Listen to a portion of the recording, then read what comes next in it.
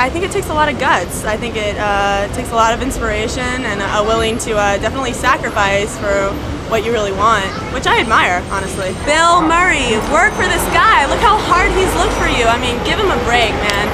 You're a good guy. You look like a good guy. I think uh, I think this kid here deserves a break, and I think you're the nice guy who's going to give it to him.